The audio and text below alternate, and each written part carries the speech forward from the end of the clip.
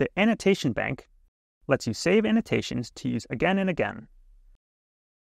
You can access all of your favorites from the sidebar. Just drag and drop.